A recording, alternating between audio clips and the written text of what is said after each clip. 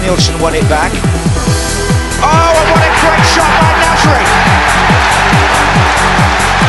Samir Nasri equalises for Arsenal. Three minutes into the second half. Just fell in front of him there. Nasri's shot has gone through the legs of the Everton player.